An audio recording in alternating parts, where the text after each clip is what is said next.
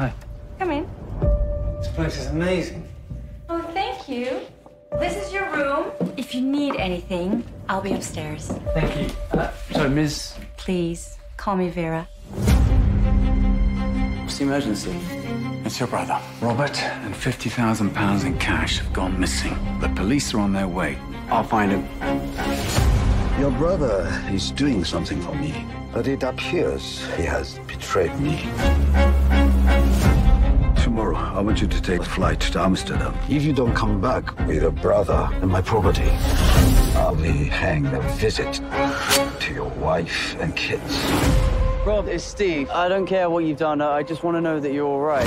I work with the government. Your brother was helping us. He's disappeared off the grid completely. Lots of people disappear in this city. In fact, they come here to disappear. Isn't it beautiful? My father's wine from the cellar. What have you done? That family is the most powerful family in the city. Stand well away from the house. We were wondering if you had a room we could rent for a few nights. This is your room. Have a lovely stay. Father, we might have a problem. Beware, even those who look innocent can be dangerous. No, no, no. We can choose any room, even on the wrong path. Sacrifices will be made.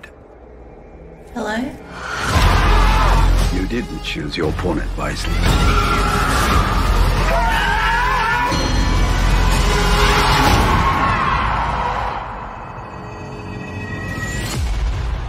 Have a lovely stay.